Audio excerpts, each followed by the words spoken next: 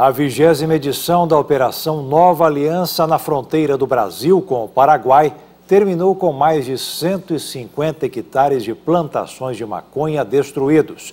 Para o narcotráfico, o prejuízo foi de mais de 60 milhões de reais.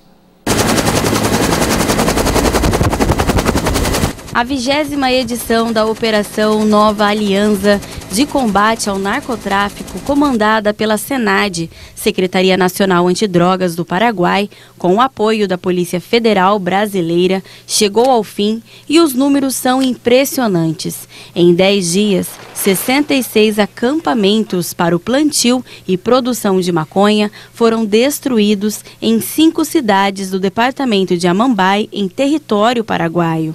Foram apreendidos e incinerados mais de 6.300 quilos do entorpecente já prontos para venda e 378 quilos de semente.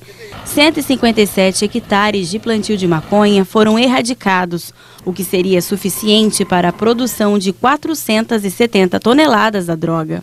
A maior parte das plantações estavam em áreas isoladas, escondidas entre montanhas. Na maioria delas, os agentes da Senad tiveram que chegar em helicópteros. Até um viveiro para acelerar o cultivo da maconha foi encontrado pelos policiais.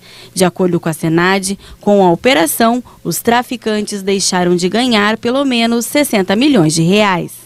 A cooperação entre setores operacional e de inteligência das polícias do Paraguai e do Brasil para autoridades de segurança pública dos dois países é fundamental para conter o avanço do crime organizado, principalmente do narcotráfico aqui na região de fronteira.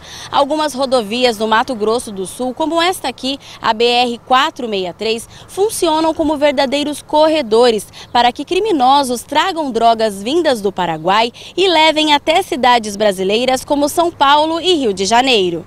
Grupo de Elite da Segurança Pública em Mato Grosso do Sul, o DOF, Departamento de Operações de Fronteira, tem sido responsável por um grande volume de apreensões na região. O serviço de inteligência hoje ele está focado na, na, busca de levantamento de dados, principalmente das rotas utilizadas pelos traficantes, e é justamente onde nós temos empenhado o nosso efetivo, que tem trazido esta exponencial crescimento da apreensão das drogas.